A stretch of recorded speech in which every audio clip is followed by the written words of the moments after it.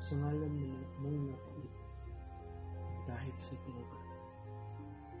Sa ngalan ng mga anak na nawala ng pamilya. Sa ngalan ng mga espiritu na namayapa ng dahil sa mga. Amen.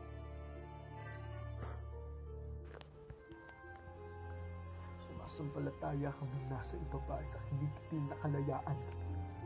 Umaasa na magigising pa sa kabila ng butas naming mga kalamnan at nagtitiis.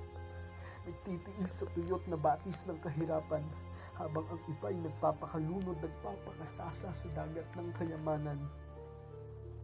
Sumasampalataya naman silang mga kanid sa ninakaw na salapi ng bayan. Ang Pilipinas, taguring perlas ng silangan. Silang mga Hudyo kapwa Pilipino ang ninanakawan. Nagtatampisaw sa pinagpawis at pinaghirapang yaman ng mamamayan. At huling sumasampalataya naman ang mga espiritong natin sa bulag na pag-asa. Umaasang silang kanilang mga pag-iwan ay mamumulat pa sa kapayapaan. Umaasang pagkakapantay-pantay ang makakamtan pa ng ating bayan. Ngunit aba, aba katampalasan, grasyang dapat sa amin kanilang pinangalanan, ginong Panginoon at Diyos ng binulsang kaban, bukod tanging nagnakaw sa pagpapalang para sa nasasakupan. Pinagpala na nga silang mga anak ng pagkagahaman. Santisima, Pilipinas, gumising ka na. Bukas ba kami ay kakain pa? Kami mananatili na lamang ba na dilat hanggang kami mamatay na?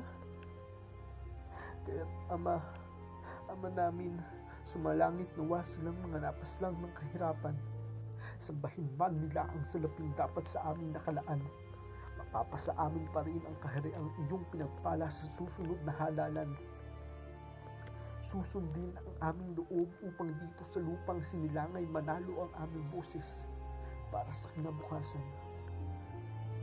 Bigyan mo nawa ng kaliwanagan silang naloklo sa kadiliman at ng aming bigyang tawad at pagkakataon silang mga nagkasala.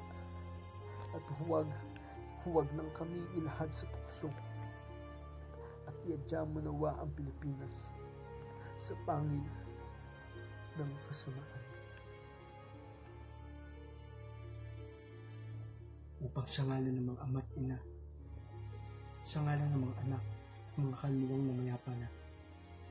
magkaroon ng kapayapaan at pagkakapantay-pantay para nang sunoon ngayon magpasok ng bangkay.